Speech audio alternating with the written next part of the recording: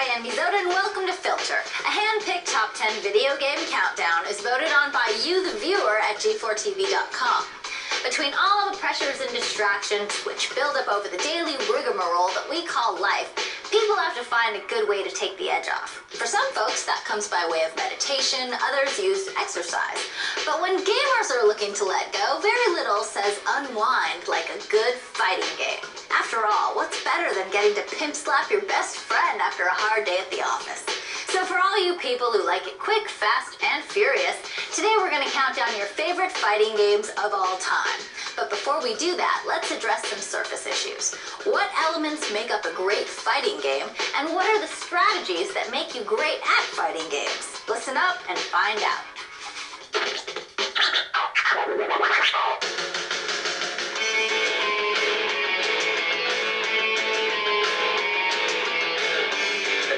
Fighting games are easy to play, they're fun to play, but also reward people who put a lot of time into learning this, the moves and learning the techniques. The gameplay has to be really perfect in a, in a fighting game. I think it's very, very important that it's, the, the response time is very fast. It has to be super fast.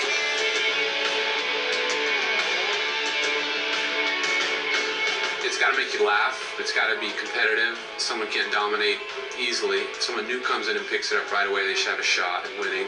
Good graphics, good characters, funny characters.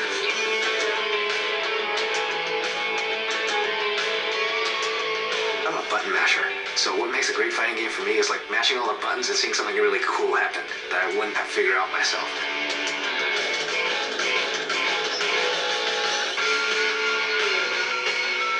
My number one strategy that I love to do is uh, kind of circle around my player, keep distance so that they're not able to strike you easily. Uh, it, it makes it fun, and I think it's really successful when you're able to do it and strike at the same time.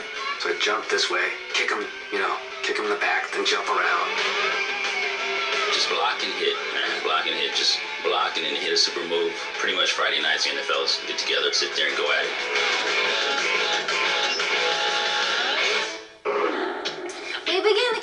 With a whacked out game that has character because of the characters.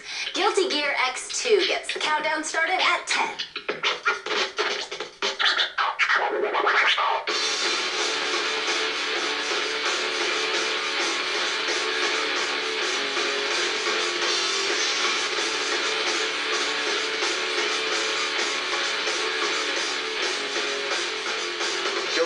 X2 has a really cool 2D style with some really crazy characters like heavy metal guys playing guitars and things like that. It has a kind of like cool old school anime look. It looks a lot like Street Fighter 2, but obviously this game came out much later than Street Fighter 2, so it's definitely kind of a throwback to the 2D fighting style. And it's got a gorgeous, gorgeous design sense.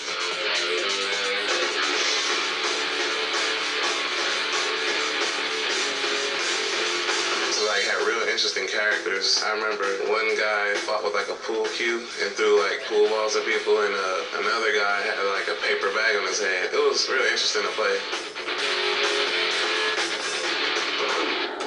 Guilty Gear has the distinction of being the only standalone fighting game to make the countdown. From this point on, every other spot will honor a series.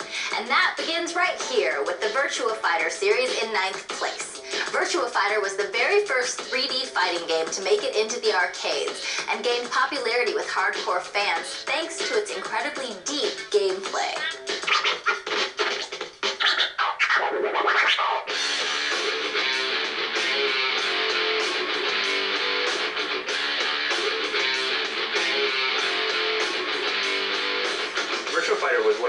First 3D fighting games where the camera would move around you as you were fighting the early versions of Virtual Fighter were really blocky. Since then, they've really enhanced the quality of the game up to now Virtual Fighter 4.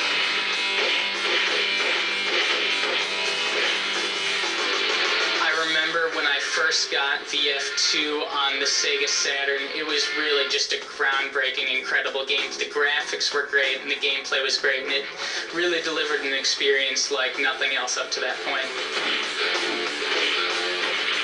Uh, Virtua Fighter was one of the first 3D games that I really enjoyed. Played it all the way through. Kept playing it for a long time. That was my game. I love that game.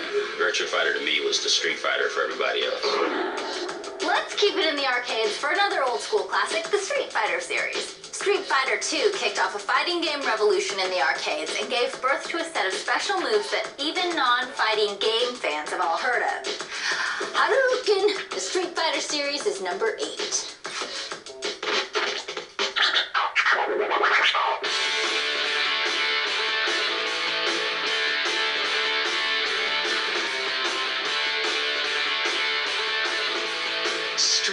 Fighter is the reason why I love video games. I can remember where I was when I executed the Sonic Boom for the first time. You can never neglect the influence of Street Fighter on the entire genre.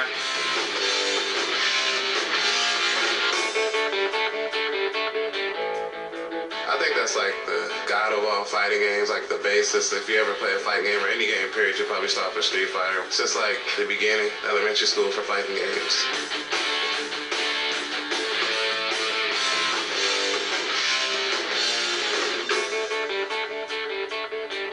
Cool thing about the Street Fighter series is they've stuck with that look all along. It's nice to see that the games haven't had to like change. They could keep their look and remain the good games that they are. Ah, that game brings back sweet memories of junior high. Of course, it also brings back some not so sweet memories of getting my butt kicked.